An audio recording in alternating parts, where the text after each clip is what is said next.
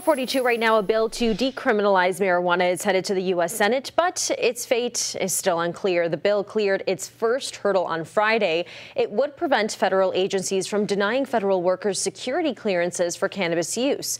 The House of Representatives passed it by a slim margin, 220 to 204, and is not likely to pass in the Senate.